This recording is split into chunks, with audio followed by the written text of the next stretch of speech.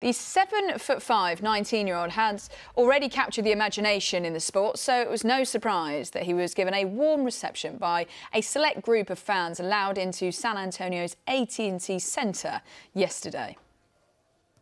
Wembanyama did show he is only human, though, missing the odd shot during a short practice session. Before, before a news conference alongside Spurs general manager Brian Wright people have been showing me love so far, a lot of love, and uh, I think I can give all this back uh, to, to, the fans, to the community, to the to the franchise, and to the city, and uh, even to the state.